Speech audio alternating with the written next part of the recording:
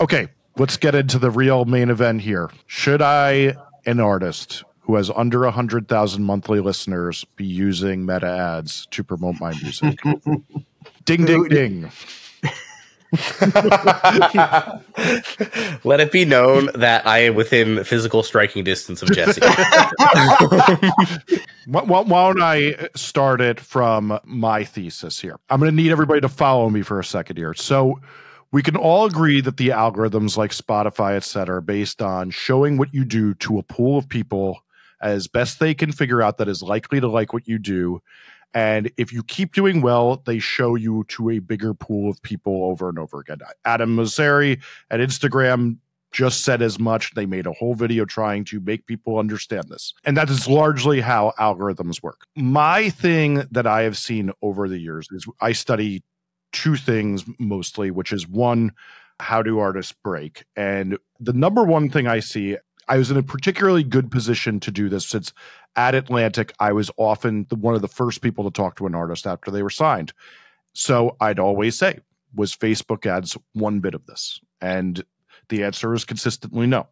So that got me down a rabbit hole of thought, which was then when I started working on a lot of campaigns where people had done Facebook ads, I would see not the same growth I'd see with other people who did not. So then I started thinking about what is this and going deeper and deeper. And so what I became convinced of after so many A B tests, after so many different people, is that when you use Facebook ads, you're getting the lowest quality music fan possible, especially if it's on Facebook itself and not Instagram. Instagram can be better, but the people who click ads are not the people you want to be targeting because I do believe that the quality of fan equals greater quantity in the pools that they send you to in algorithmic playlists. When they're testing you, they're testing you on a pool of people who I don't think are the best first listeners to get things. Whereas now, with the ability to do outside influence TikTok campaigns and things like that. So, what I've never stated that a lot of people here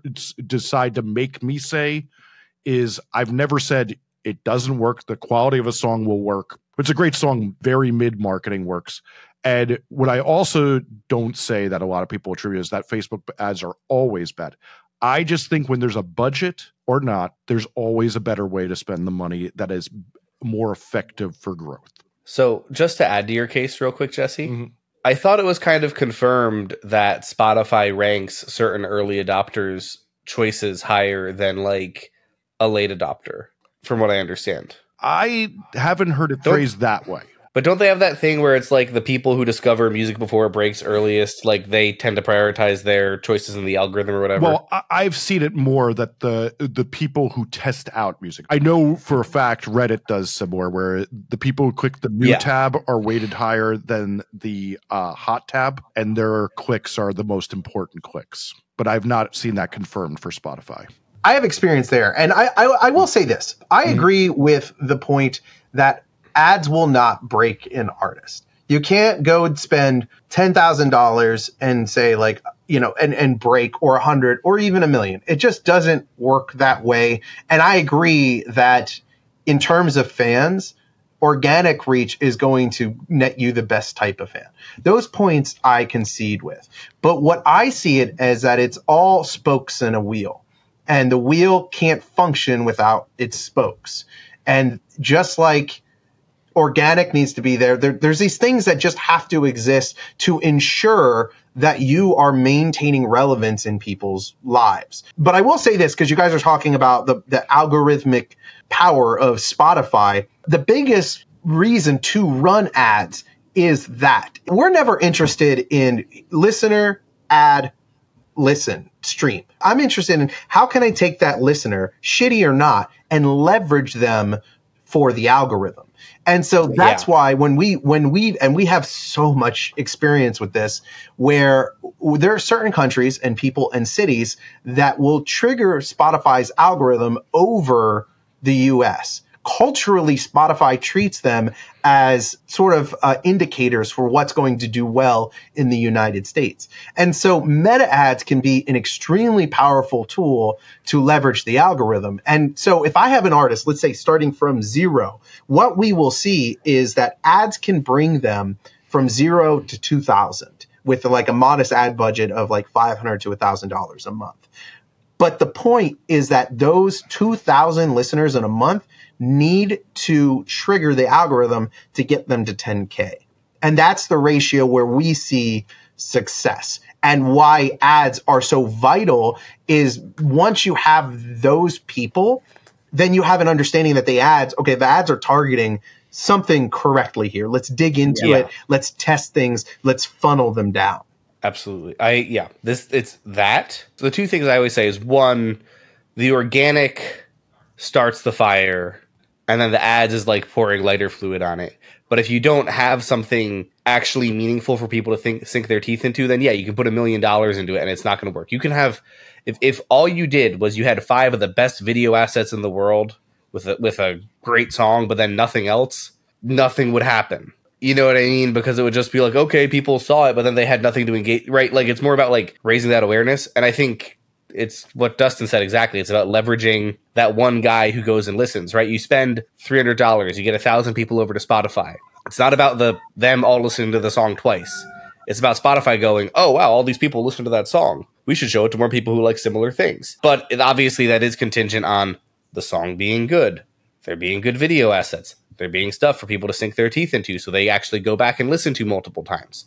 Yeah, would you basically agree with that, Dustin? Yeah, I that's exactly how we run our campaigns, and it's a foundational thing. It's it's like you know, great, we're going after organic, that needs to be there, but then also there needs to be some kind of sustained growth that you can lean on, and retargeting these people and making sure that like they live in a world where there's relevancy. And by the way, that can be extended into adding budget. Like if we have a piece of content doing really well, cool, let's roll that content into ads and extend that budget. Now, let's let's say it's in the country world right now there's so much country press outlets on TikTok and Instagram, then let's roll a budget into getting them supported. Going after those influencers, like that's that's just another way of forcing um, it's a media buy in my mind. It's it's not any different than it, it looks better because it feels organic, but it's an advertisement. Whether that platform is going to say it or not. And so, so to me, it, it services the same function. But I think I don't care if an artist has zero followers or they're um, Billie Eilish. I think there's a hmm. role for ads to get started ASAP. My caveats here should be that the reason I also go on this is I would just rather spend that money on other things. Like right now, basically everybody who tells me I have an ad budget, uh, we're doing this TikTok outside influence thing that uh, I built out where to explain it here, you have an artist profile on a device that has never touched the artist profile. We then are making somebody going, here's the five best gent songs of the summer, and the artist is in it. Then we have a separate account that looks exactly like that influence account that we're running ads on and targeting both the followers of both accounts and the followers of the artist we'd most like to do, and we're running ads on that. I'm finding that because then when people jump from TikTok to that, I'm seeing better growth that I've seen with any Facebook campaign I've audited in my life. Well, I think the problem there, though, retargeting that early on is that no matter which way you dice it, it's going to be more expensive. So then it's a conversation of is it cheaper to do it that way or cheaper to leverage Spotify's algorithm with sheer numbers of maybe low lower quality fans? You know and I think that's that's a discussion but I love the ability though in the ads to force like if if an ad does well it means that the song is particularly good. Right? Because the song can't just be great. It has to be like fucking amazing for those ads to do really well. And so you get a better read on what to do with the rest of your campaign. So for me, it is dollar one, in my opinion, it because immediately you can test all the content, you can test everything all in real time. Yeah, and this is, I think, the really, really, really valuable part to me. Within spending a hundred dollars, I can already get a sense of like how I want to direct marketing for an artist going forward, or like what's going to make sense, or yada yada yada. And you know like pretty quick whether it's working or not and optimize and yada yeah whatever Whereas like I don't really like things where I have to put like a thousand dollars up front just to maybe see if it works. Well, explain. I want to hear your your model that you just mentioned is a strategy I've I've never heard about. So you said you you launch a, essentially like a, a, a fan account. A fan account's probably not. The Fa- fa- well, I call I literally call it an influence account, like where you're Yeah. like. So the, my favorite one is this one that I actually like got into as a fan. It's called Music at Midnight. It just kind of curates the type of music I like, like the hyper pop, anti pop type of stuff. And but then it's like the funny thing is like they were doing a lot of those videos of like here's the four best songs. Now the funny thing I started to notice is, huh, the same artist is always at the top of the playlist and in the videos. I wonder why that is. And you know, not to make it too hard of an accusation at somebody, it could just be that they're a mega fan.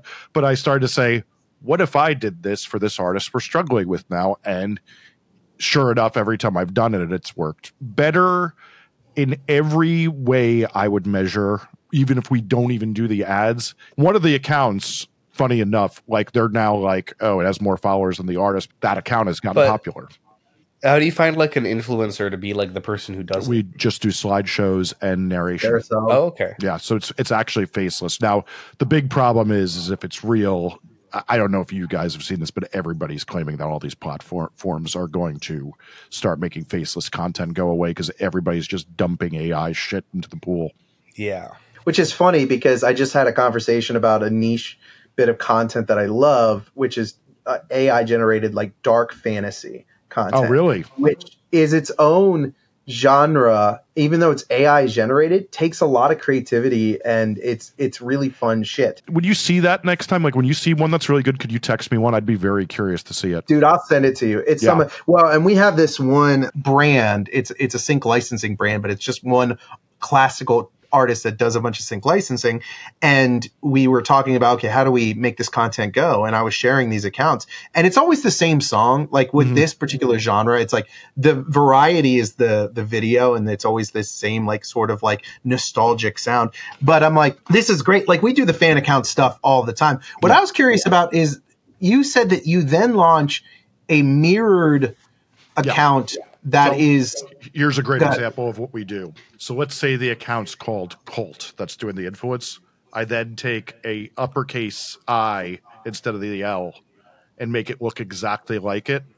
So you think you're getting that thing you already follow, but you're really getting the ad account. hmm, which is smart because TikTok ads ruin Yeah. accounts. You know, I talk to 10 new musicians a week, and I've seen enough to say there is no doubt in my mind that the second you put ads on it, you are throttled for the next at least three to four months, no matter what you do. I've never seen anyone get out of that hell. Dude, I worked with American authors last year. Oh yeah, great, great band. th- They were crushing it till October of 22. They ran heavy ad campaigns, and after that, you just couldn't break 300. And that's American authors, right? Like it was just they came to us like I we don't understand, and that's one example. But we've seen the same exact thing. Is like the ads. I don't know. I don't get the logic, but I think what it is is exactly what you said. The lowest common denominator people engage with those ads and then destroy the algorithmic reach of those. And, and this is why you need to be thoughtful. Like, I think also, though, if you're like thoughtful about that targeting, you can kind of overcome that. TikTok is a lot harder to do that with, in my experience. But, like, you know, and you definitely have to do some experimenting within Meta to find like the right people to target. You know, but it's like it's consistently been my experience, right? That if you go narrow and thoughtful, you're a lot better off with your ad targeting than if you go broad. And most people just put in, you know, alt rock and then let her rip. And in 99% of cases, that doesn't work. Every once in a while, there's a way to make it work. But yeah. So I have the complete opposite experience, hmm. especially Oh, yeah? since the iOS changes. So we we run media tests before every campaign where we test out different audiences. Yeah, Dustin, can you can you explain that like they're five, what that means so the audience follows you? The idea is that we want to understand not just like what are the best performing ads, but which ones are actually creating conversions on Spotify. So when we run these ads, let's say we set a budget for each ad at like a hundred dollars. An ad set and they actually run to their own individualized playlist. So we can actually track on the back end of Spotify for artists what ad and we we we they all look the same except there's a little watermark A B C D whatever.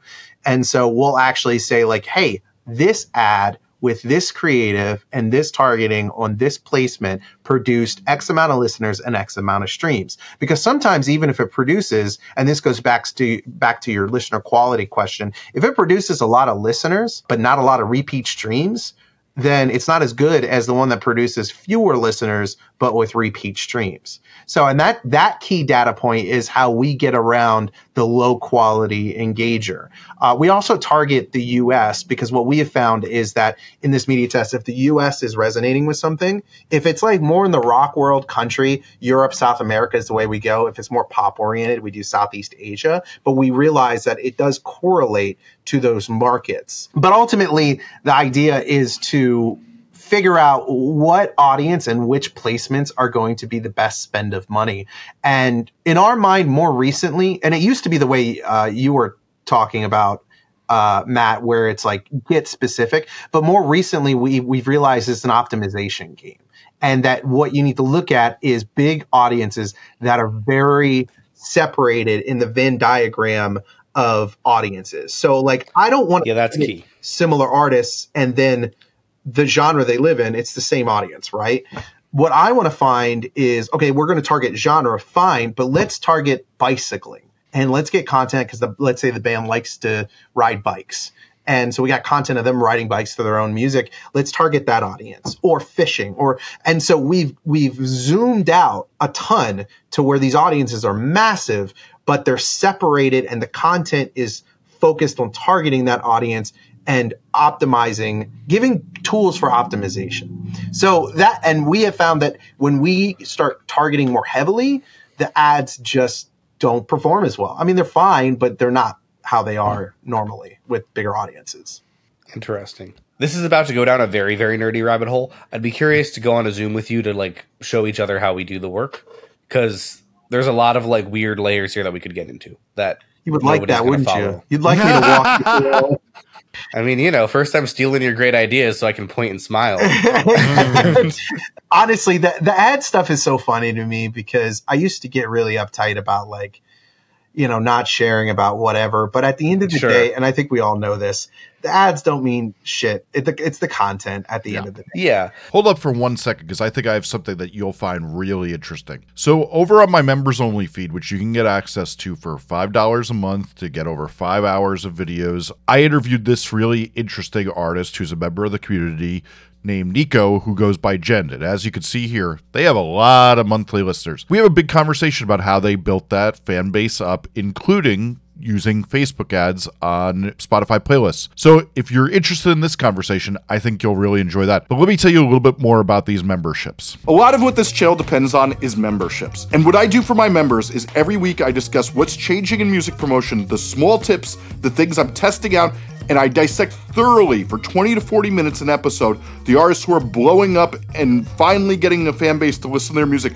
and exactly what they're doing to do that. So you get five hours of this content for $5 a month. I also answer all of your questions and listen to your music on monthly streams. So if you want to sign up, there's a link in the description or hit musformationlabs.com for more information on what I do. Okay, back to the video now. And I also think I was just dealing with someone from a major label who has a lot of success doing streaming ads, and they do it like completely different from how me and my team do it. But like it's still working. Yeah. It's just, you know, like because Meta Ads Manager is such like a weird, complicated tool that like there's definitely people who've like found a way to do something different from how we do it with my people. You know, you know what I'm saying?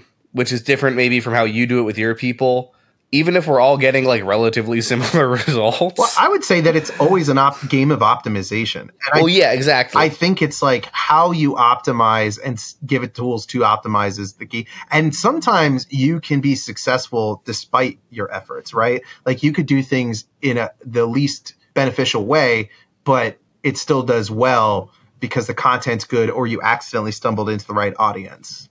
Yeah. So we were testing with Bridge City Sinners the other day, you know, who are a really, really great folk punk band. And we have a few really high quality assets, and they're pretty accessible, and they're accessible to like pop people who want something a little creepy, but they're also accessible to like folk punk people obviously and like but they're also like crust punks can listen to it cuz like folk punk is like the new thing in punk in general, right? We just ran into like a bunch of weirdly different audiences ranging from like mainstream metal to sort of like Avett Brothers fans to folk punk people to like crust people. And it works on all of them because it's that thing like you can't fuck it up when it's the best quality. Yeah, and it'll find it. I will say though that sometimes the content, trying to find the right content, is so infuriating. The best performing Yeah. ad I've ever had, and I'm not at an advocate for copyright infringement, but this ad is is it was pushed by the label, and I was like, this is not a good ad. Also, copyright infringement, and they were like, we don't care. What's the copyright infringement? I'm curious. So on the top was uh, the Joker from the Joker movie doing the dance down the stairs. On the bottom, right, is one of the split ones, is some car game, old car game. It's sort of like the Subway Surfers, but it was some old, Yeah, and it was all blurry and shitty. And it just had the song in the background. And the song, I will say, the song is perfect for the Joker. The lyrics, it made a lot of sense. It was horrible. And it was insane. I mean, that artist went from nothing with that one song to half a million monthly listeners with the ad alone. But this is the thing. This is the thing. Is if you focus on really organic feeling and looking content, especially in certain genres, like where almost like it feeling shitty, like makes it better. Yeah. Like a lot of like Escuela Grind, the like hardcore death metal band I manage, technically grinding death violence. Like a lot of their most successful early viral moments were like cell phone footage of some crazy shit happening at a show that felt like your friend filmed the coolest band they'd ever seen and then you just and then you saw it. Sometimes you can turn that into an ad asset and then it happens. Doesn't matter if the audio sucks, doesn't matter if the video kind of sucks because it feels like what that audience is consuming with their friends. Well, and it's funny too because especially if you have an agency, you're always improving. And part of that is like, let's improve on the content.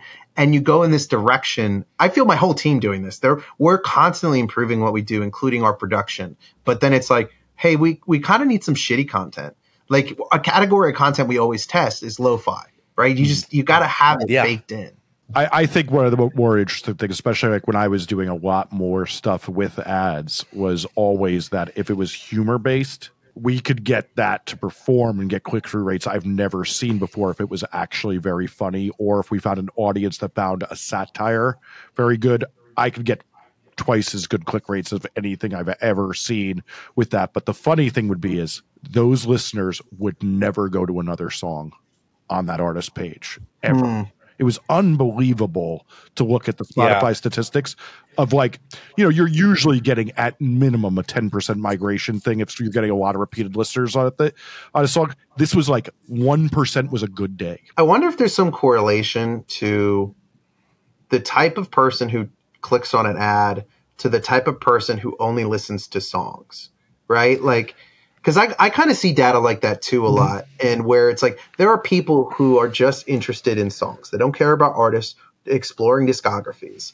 And I think that there's some connection between the two. this is a really interesting thing because I think about a lot. I used to, I ran a lot of record stores when I was young, and I worked at uh, humongous Tower Records at one point. And if you bought Cake or Barenaked Ladies or Creed, you would never buy another CD with it because those were the not passionate music fans. Those were just like, I've heard this a million times. I want to hear it more. And it was a particular type of fan most of the time. And it's the same thing that a lot of people say. It's like there's that joke about Swifties online that they've never seen any other concert, that they don't listen to a lot of other music, and that it's just a very narrow base fan. And that is the truth that some things provoke that. And I think that might be correct is that like the person who's listening to satire is probably listening to a lot of comedy podcasts rather than a lot of music. But I also think it's it's that thing we talk about a lot in terms of content marketing, where it's like, Jesse, you could go post some goofy meme of me with your dog making fun of me Mhm. and get like five thousand likes. But that wouldn't really be like anything relevant. Like people would go and follow you, but they would be following you for the wrong reason. Yeah. Right? It's like all these people who make comedy content go viral and then get sad that nobody wants to listen to their music.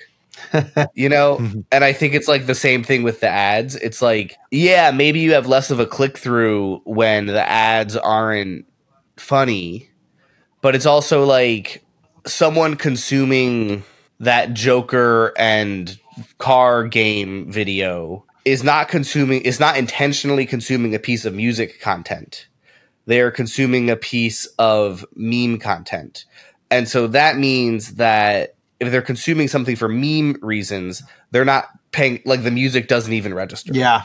Like if you're consuming something for music reasons, then you're gonna go and you know, and I think that's really important, right? Is like and this is something I always try to like because sometimes I get like a funny idea for content that I'm like, oh, I'm not sure I could actually make that a bacon spit because it would just I know it would get, you know, however many thousand views, but I also know if the content is not tied into my core brand, mm-hmm.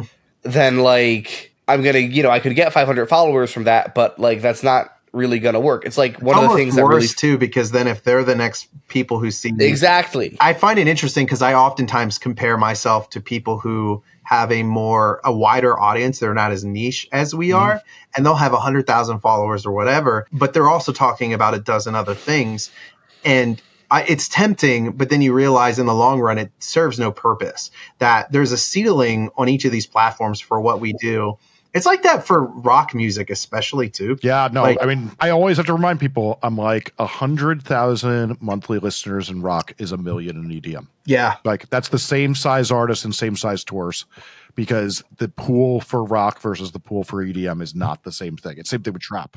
But also, it ties into what you were saying earlier about people or sorry what dustin was saying earlier about people who consume songs versus mm-hmm. people mm. who like are into music you know because i think part of the part of the rock mindset is like i am a music fan and i go to shows you know in a way that doesn't necessarily exist in a lot of other genres. Well isn't that just the nature of niches right? Like people who exactly. enjoy niches are passionate about it. A final point, I guess, on the meta ad thing is, and this is, I think, one of the biggest things that fucks people up and that you need to be very aware of is that if you don't know exactly what you're doing, which means you haven't spent a bunch of time watching every Andrew Southworth video, and then because he has the best guides for how to do he's, this. He's, he's an amazing, amazing YouTuber and resource. He's a great guy. Yeah, right. We love Andrew. If you haven't spent, you know, 10 hours watching his videos and tested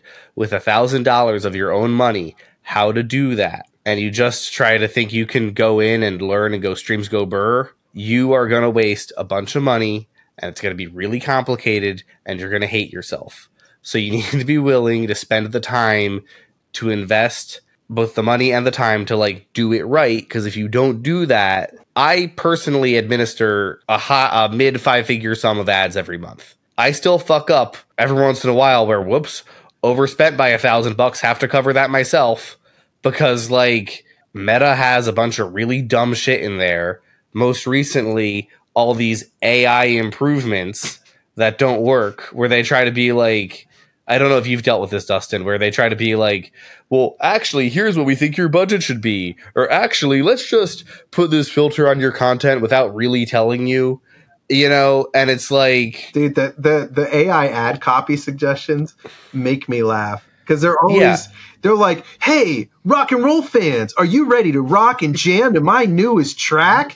You know, and it's just like Yeah, and this is what I'm saying and this is what I'm saying is like Meta tries to make it look like, oh, it's accessible, and the AI wizard walks you through the fucking thing. No, and it's like, no, if you mess this up, you will waste a lot of money. And it's worth hiring, even just hiring a small agency like mine for like one campaign just so you can see what it's supposed to look like and reverse engineer because so many people waste so much money on this. And I think we all have horror stories of that. Yeah. Probably another reason why, not to defend Jesse's point, why if you're going to talk about things you can do, probably not. If you're an independent artist and you're like, is it going to get me further to spend this money on content or ads? I could see the point of saying like, let's spend money on content. 100%. Yeah. Like because if, if you're not willing to fuck with it or pay someone consistently to fuck with it for you, we we do weekly audits where we'll literally go through every single ad that we're running every single week. I mean, I, I think about it's four meetings, four hours worth of meetings between four people every Thursday. The amount of money we're spending on just auditing, that's how easy it is to blow money. We figured out that is cheaper than not auditing the ads because we save money by not having to pay out of pocket for mistakes. Yeah, this is the point.